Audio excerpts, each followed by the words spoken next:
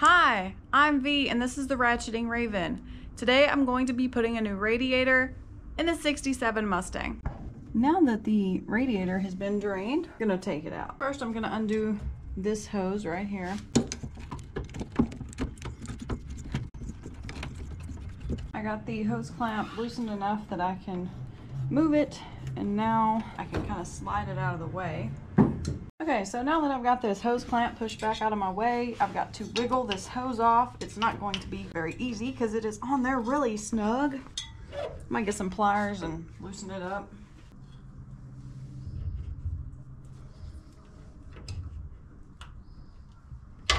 Don't want to rip the hose either, that's for sure.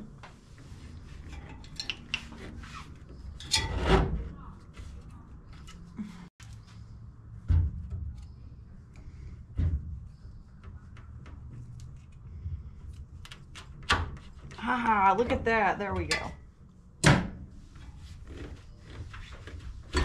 Ah, okay, that's off.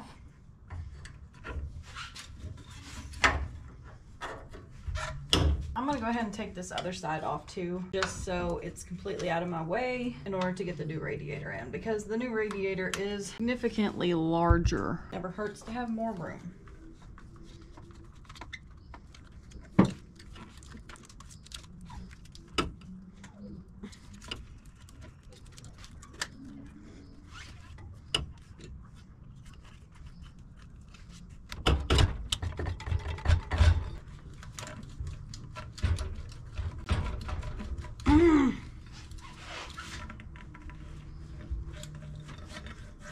There we go. Block this off so nothing gets down in there. Next, I will have to, it's hard to see, but to get that hose right there. Hose clamps like right in there.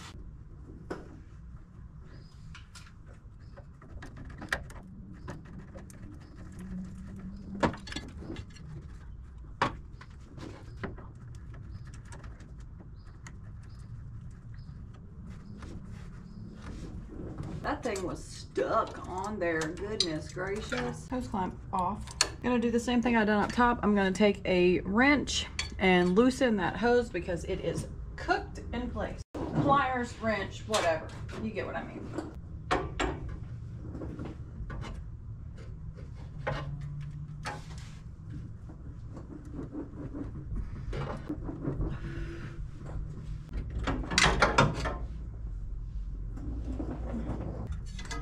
That thing is stuck in place. Holy moly.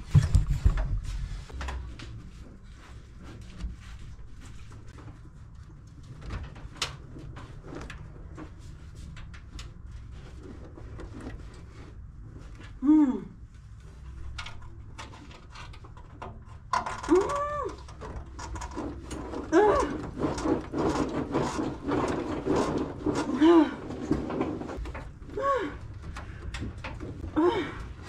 There we go.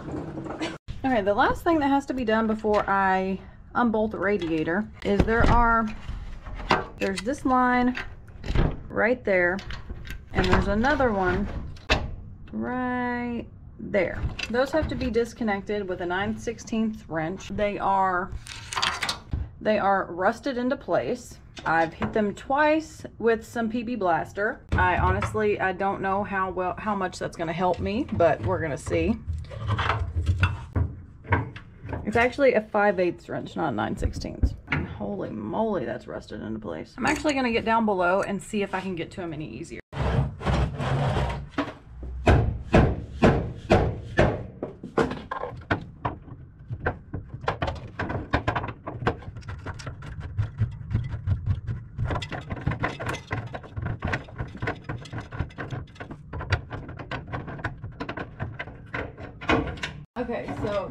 Here is disconnected. That was actually much easier. Let me swing around and get to the other one.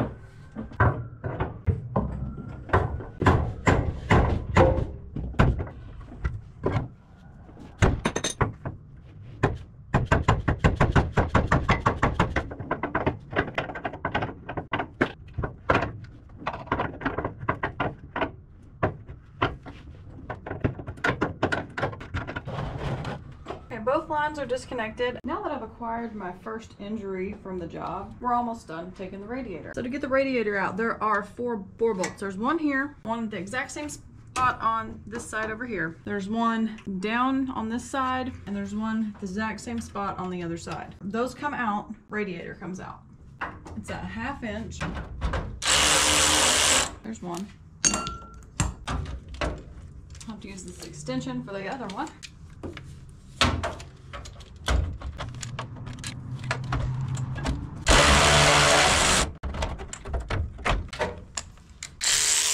There's that one. I'm not really sure how I'm gonna get this one. I'm trying to do this one down here.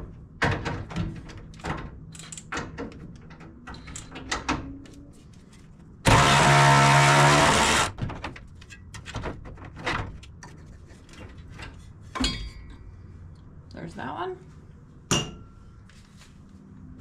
And let me see. It's kind of a pickle. Probably just use a half inch wrench.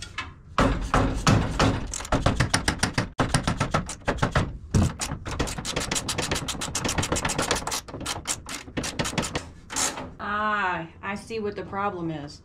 This also holds the horn on. So I have to get another wrench to hold this bolt for the horn, or the other side of it, whatever.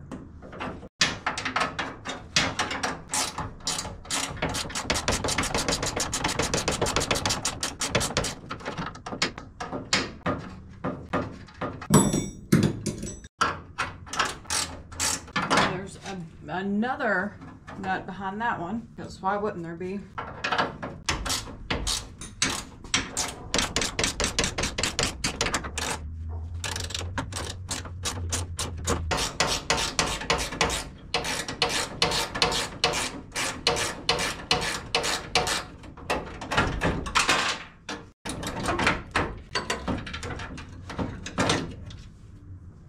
There's that one.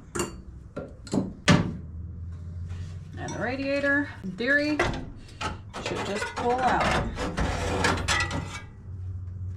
Like that. Found a roll of electrical tape. What else am I gonna find in here? That went to something at one point.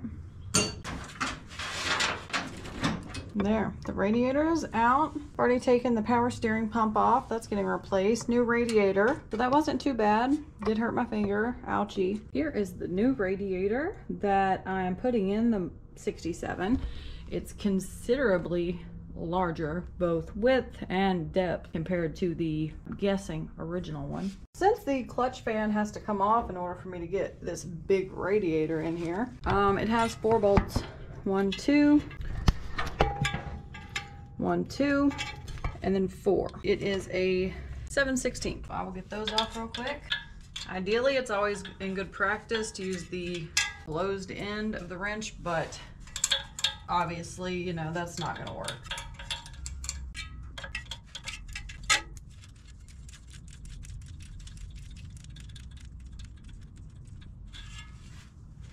There's one.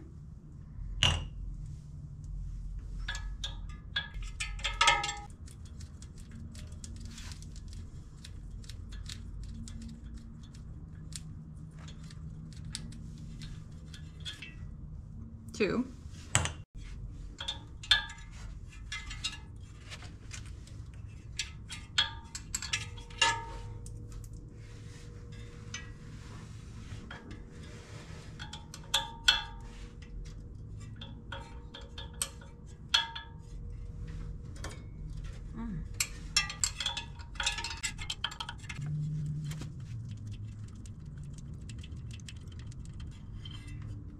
Three.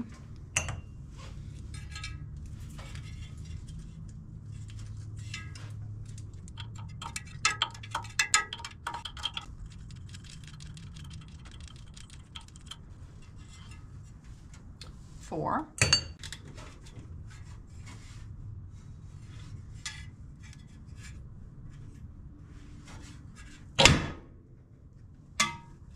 There. Fan's off. Now that that's off, let's get the radiator in.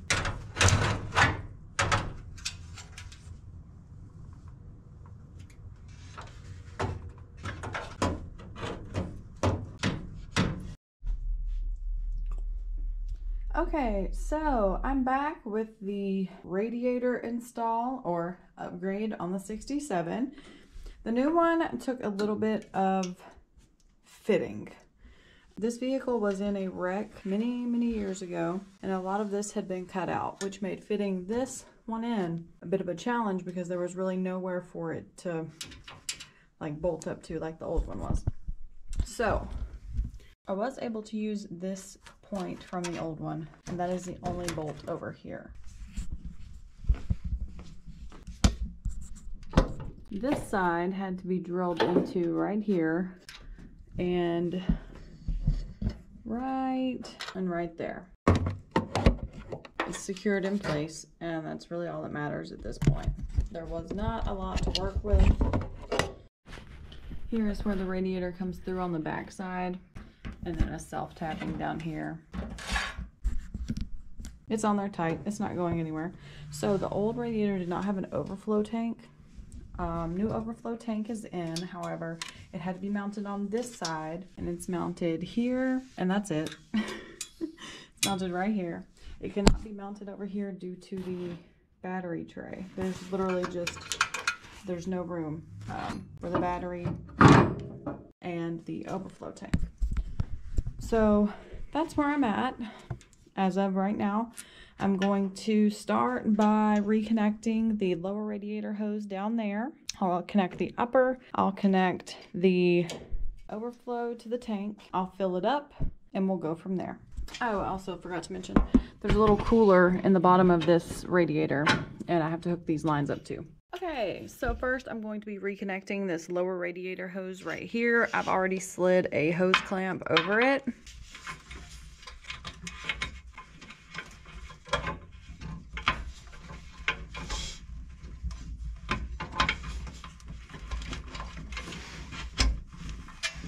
That's back on. I'll tighten up this hose clamp.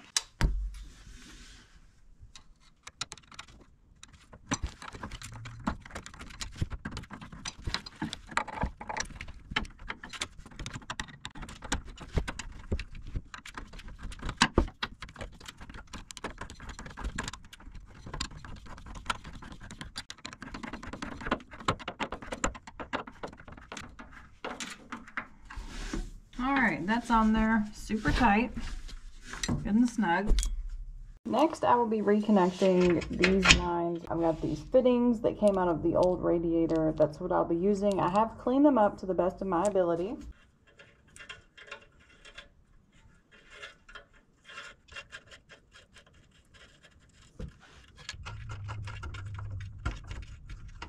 The rest can probably be easier done from up here. All right, and these are half inch, so I'll connect this one first. Hopefully not.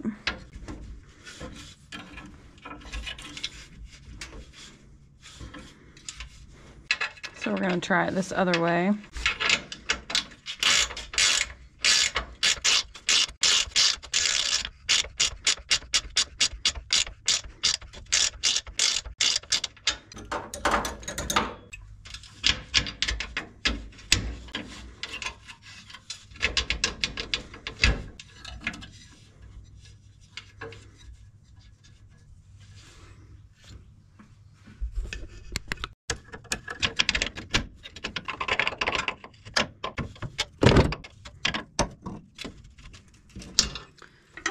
That worked.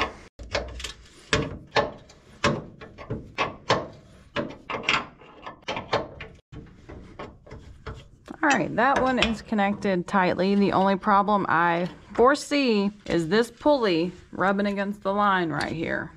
But this is much thicker than the other one, so there's not a lot. This radiator is much thicker than the old one. So I don't really know how I'm going to, I might could gently bend the line. I'm not really sure.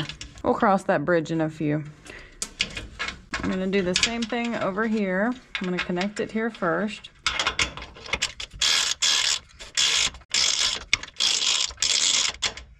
I'm trying to be easy not to bend any of the fins. Some of them got bent in shipping. Some of them have gotten bent from sitting around. A couple bent right there.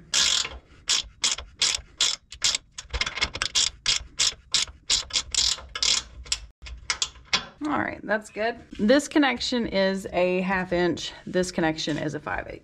I think I mentioned that before, but just to double check. Hmm. I do foresee this potentially being a problem too. The way these lines sit. I'm not really sure how I'm going to remedy that either. I'm not the biggest fan of hard lines. They're always a hard time. Okay, so what I'm trying to do, I disconnected this line to try to connect this line. We're gonna see if this works. I don't know. I really don't know.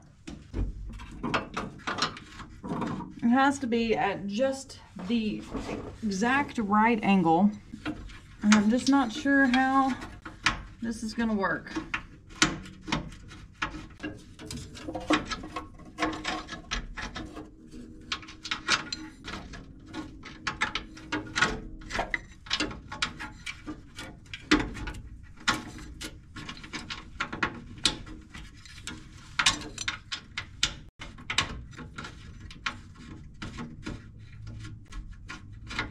is not the way that I need it to. Um,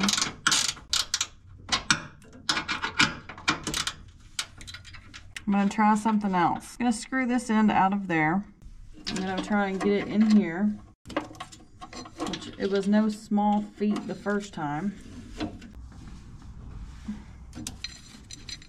All right, that's in. Now maybe, just maybe, I can angle this so that I can get this one in here. I don't know. I've never had such a pain of hooking up a new radiator in my entire existence. Oh my goodness, I think I got it. Oh my goodness, I think I got it.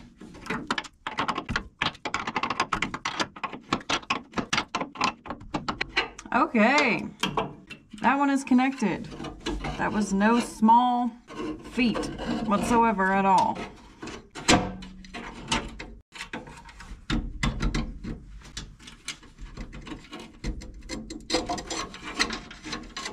Now, I'm sure this line will give me a problem too because why would, why would anything be easy for me?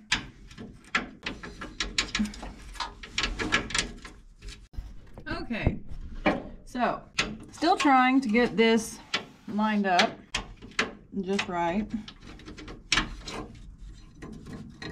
I have an idea.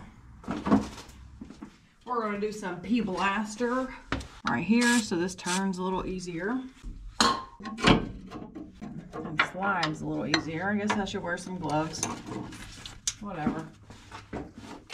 Nut on the hard, on the line itself, not the connector, is a little bit seized up it's making it difficult to get it into position. So hopefully the between the PB Blaster and the WD-40, that will help. I don't know.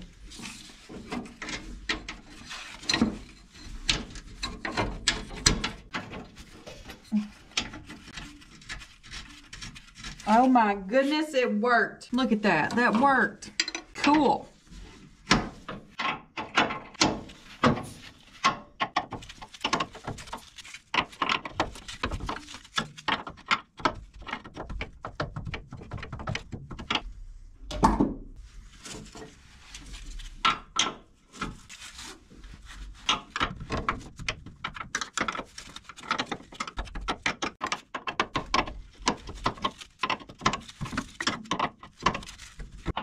All right, next order of business is getting this second line not to rub this main drive pulley. We'll see how that goes. I don't know. All right, I think that'll, that should work. They're out of the way. Gonna make sure this bleeder screw over here is uh, not set to bleed. All right, so as it sits, lower radiator hose is connected. Two lines are connected and the whole bottom end is checked out. So next, I'm going to reinstall the clutch fan and it is a very tight, tight fit. with this clutch fan in, uh, in here. I mean, just colossally tight. You're gonna have to be very careful not to stab the radiator. But it sets just like that.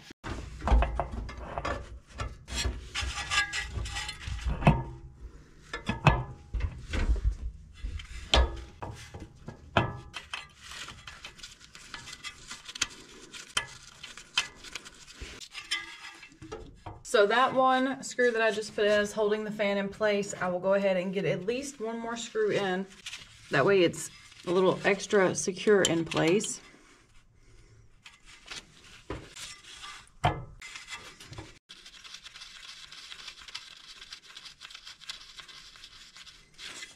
right, let me see if I can get these other two in place.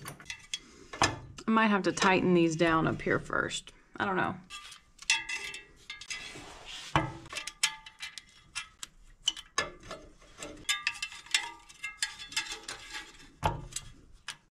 Yeah, I'm gonna get those snug down a little bit more first. I don't remember what size these were, maybe uh, 7 16ths maybe.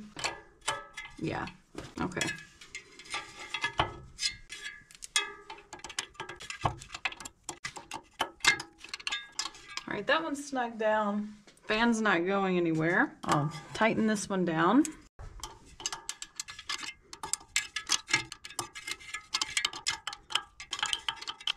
All right, that one's not going anywhere. Let me get another one in down at the bottom. All right, that one's in place. Now this last one, I'll get it in place, which it's gonna be a little bit more difficult for me. Uh, it's hard to see.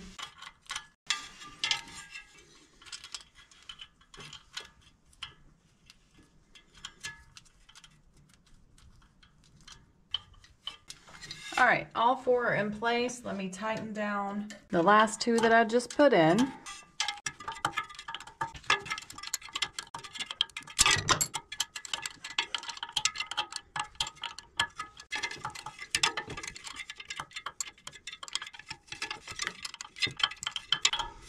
I'm going to tighten them all down.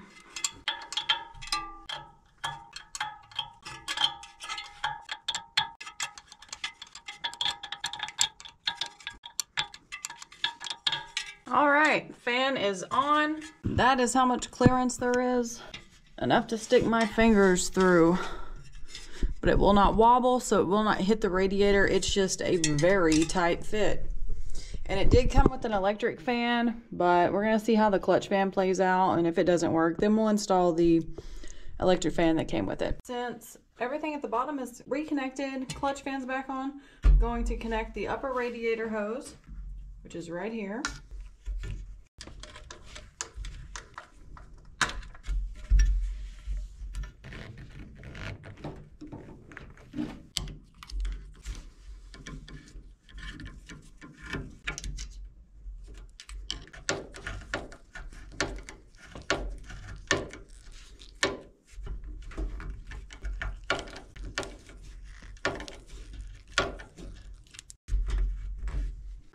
Don't think that crack goes all the way through, but it probably will need a new radiator hose for up here, but we're gonna see how that works for now. Next, I'm going to connect the overflow tank up here.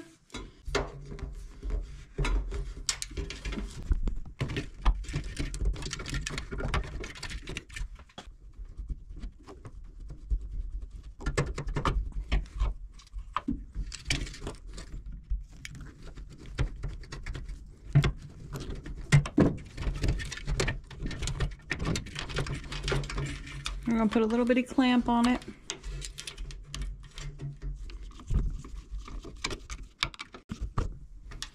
All right, that ends on there tight. Here's the overflow. Well, the bottom of the overflow anyways.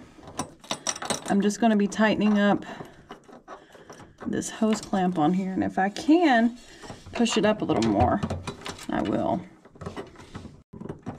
It's about as far as it'll go though. So I'll just put this little clip right here. I'm actually going to try um, a little socket. This would be a six.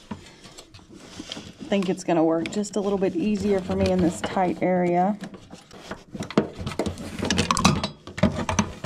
Okay, so the way I'm gonna be filling it up is the way that I've filled up my Mazda and other cars to start off. I'll be using water wetter and distilled water. Um, the reason I'm doing this is because this car has apparently never been flushed. That should have been done before I put the new radiator in, but I digress. It's going, I'm going to put water wetter, distilled water for a little bit, flush, repeat that a couple times to clean out the system, and then the regular coolant will go in. But this is a great solution for uh, flushing water wetter and distilled water. So that's what we're doing. So I have I have pre-measured out in a measuring cup the amount it takes for one gallon. So when you see me with a red measuring cup dumping in, that is the exact measurement to pair with this one gallon of distilled water, which is 16-ish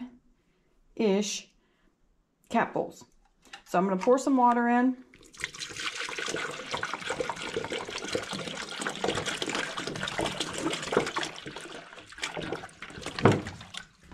gonna get my water wetter.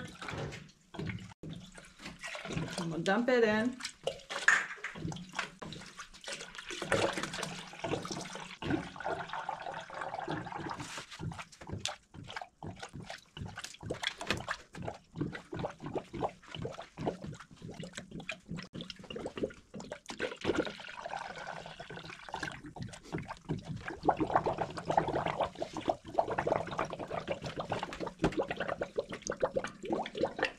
You're doing this, this is a great time to ensure that the bleeder valve is closed. This one is indeed closed. All right, so that's one gallon. I'm not entirely sure how much it takes to fill this radiator up. It's definitely gonna be more than one gallon. So I'm going to measure out another serving of water wetter and pair it with another gallon of distilled water. All right, so here we go with another gallon of distilled water.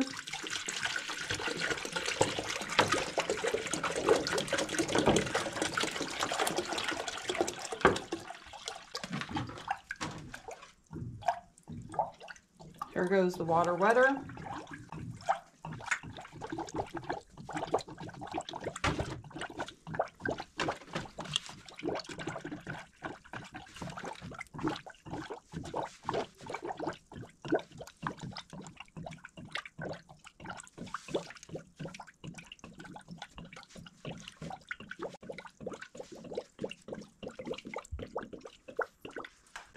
Still like some to go.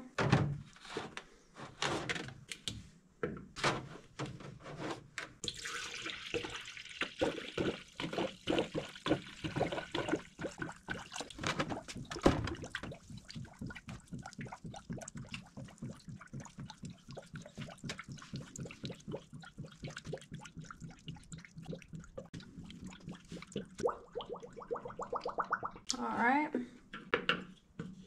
Okay, so we are getting close to the top of the radiator, it being completely full. I would say maybe another half gallon if that. So I will mix up or I will pour um, I will pour out another half a gallon's worth of water wetter and pair it with a half gallon of water and see where we get from there.